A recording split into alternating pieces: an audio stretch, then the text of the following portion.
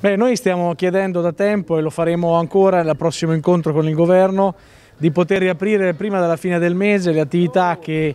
eh, potranno farlo rispettando i protocolli d'intesa perché se il trend di decrescita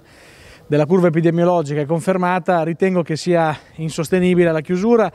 e ovviamente lo faremo a ragion veduta, nel senso senza mettere a repentaglio la salute e il buon andamento della curva.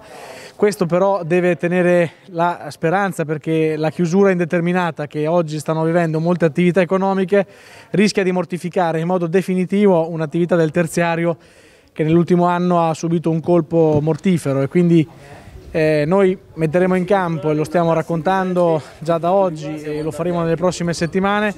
una serie di iniziative anticicliche che possono dare fiducia e mettere anche in campo delle risorse per far ripartire l'economia, soprattutto anche quella legata al commercio, con una serie di iniziative, abbiamo fatto già diverse proposte di legge, quindi stiamo intervenendo concretamente sul sistema legislativo regionale. Però certo è necessario che a fianco a questo ci sia anche qualche certezza. Purtroppo questo periodo è stato condizionato da troppe incertezze, da troppe varianti che non potevano essere gestite in modo razionale e per quanto riguarda il commercio, gli affari, il fatto di non avere certezze ma di avere continui rischi di cambiamento di regole, eh, questo è qualcosa che è davvero difficile da gestire.